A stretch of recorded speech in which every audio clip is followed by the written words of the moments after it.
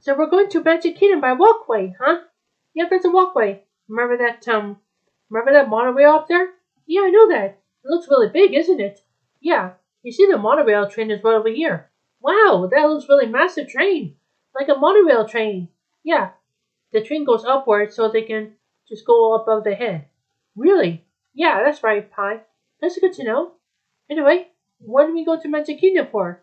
We're going to City Hall to get a reservation for all the Disney parks and then we'll go to Casey's Corner for lunch. Okay, good.